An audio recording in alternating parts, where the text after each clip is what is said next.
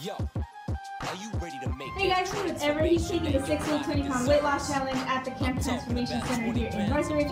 We're gonna see what the initial weight is. Starting at 236. And as you can go over to Camp Transformation Center here in Northridge. I'm here with Elver. This is his final weigh out. He started off the journey at 232.5. We're gonna see where he's at today. Let's go.